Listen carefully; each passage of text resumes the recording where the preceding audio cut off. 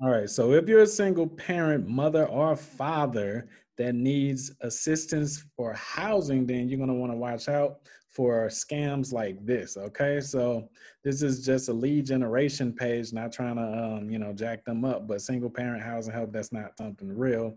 This one is not real either.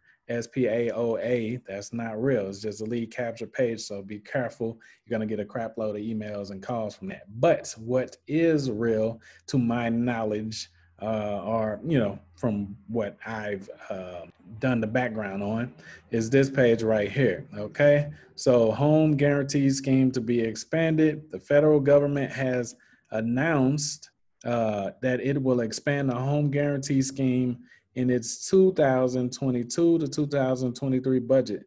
The home guarantee scheme insurance part ensures part of an eligible home buyer's loan is guaranteed by the government, enabling purchasers to buy a home with a smaller deposit because you're single.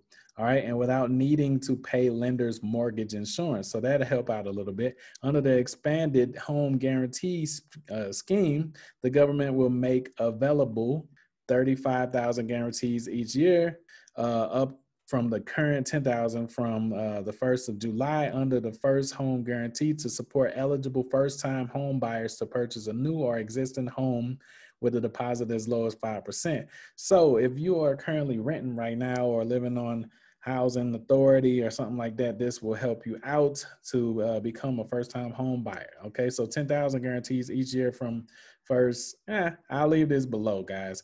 This will help you out. Also, opt in. Make sure that you see if you have some unclaimed money at the first pinned comment